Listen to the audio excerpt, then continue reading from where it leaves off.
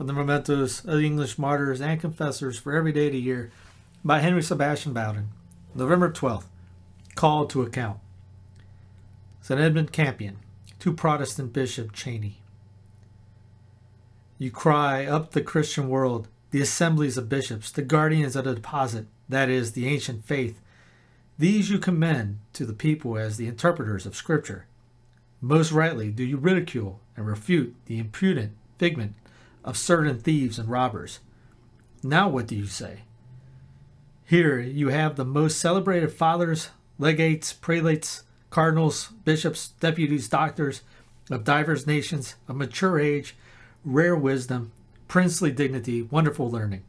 All these, whilst you live as you are living, anathematize you, hiss you out, excommunicate you, abjure you.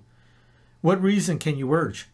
Especially now you have declared war against your colleagues.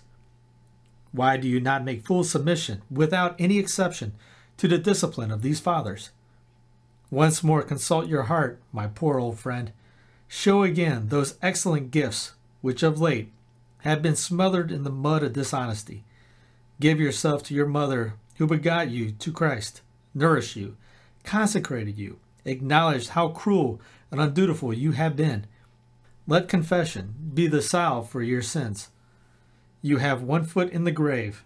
You must die, perhaps directly, certainly in a very short time, and stand before that tribunal where you will hear, give an account for thy stewardship.